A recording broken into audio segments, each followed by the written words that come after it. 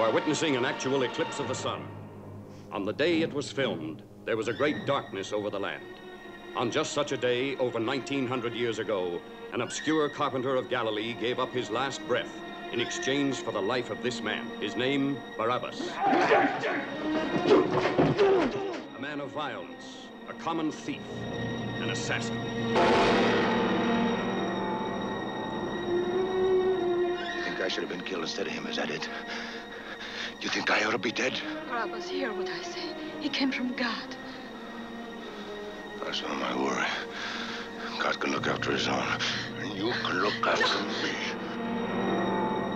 Barabbas, a man alive in a cruel and violent world ruled by the ruthless power of Rome. Barabbas, witness to the first martyrs, who had only their faith and the inspiration of history's most powerful message of love. Love one another. Listen, everybody, that's the word. Love one another. Oh!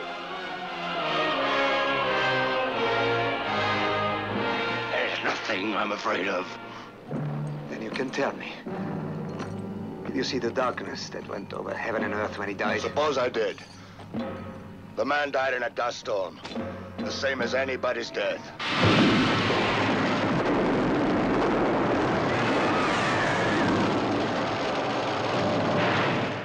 Jerusalem to the poisonous sulfur mines of Sicily and the fabulous splendor of imperial Rome, the overwhelming story of Barabbas encompasses the vast and violent scope of life itself.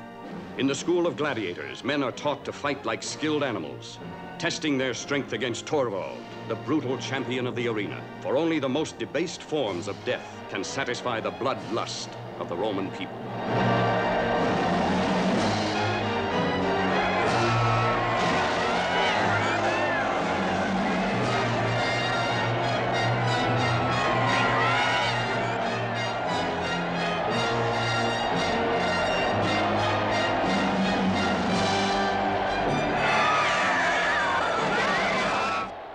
God says life. I only answer to him.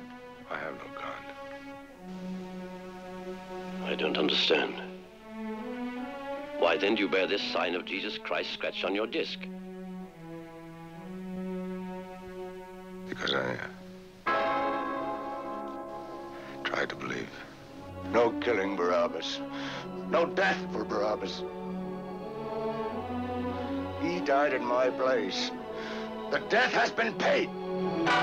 Here is the timeless, untold search of all the ages. The incredible story of Barabbas, blinded by mankind's greatest glory, tortured by its greatest shame. Anthony Quinn as Barabbas, a man, a performance, a drama you will never forget.